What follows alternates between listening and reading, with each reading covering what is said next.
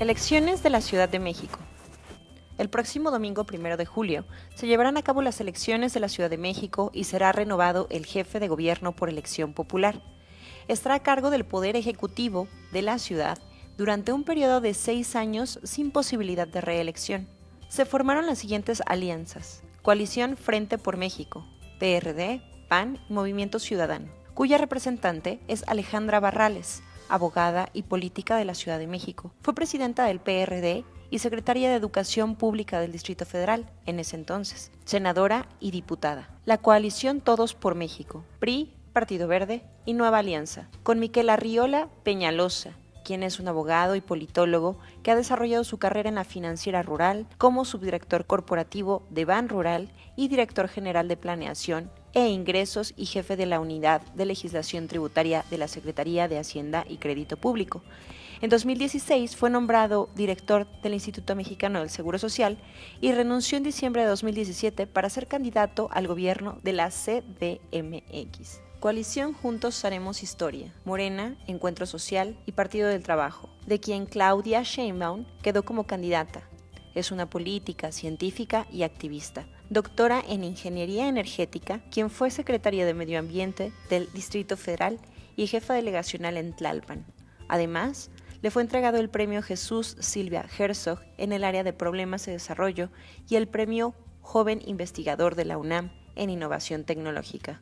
Elecciones Presidenciales 2018. En las próximas elecciones del 1 de julio se elegirá al presidente de la República Mexicana, es decir, al jefe de Estado y del gobierno. El próximo presidente comenzará su gobierno el 1 de diciembre de 2018 y por única ocasión desempeñará su cargo por un periodo de cinco años y diez meses a causa de la reforma político-electoral de 2014. Los candidatos a la presidencia de México son Andrés Manuel López Obrador, militante del partido Morena y aspirante a la presidencia de México por la coalición Juntos Haremos Historia. Morena, Partido Encuentro Social y Partido del Trabajo. Es un politólogo proveniente de Tabasco que durante su carrera se ha desempeñado como presidente nacional del Partido de la Revolución Democrática, PRD, y fue jefe del gobierno del en ese entonces Distrito Federal.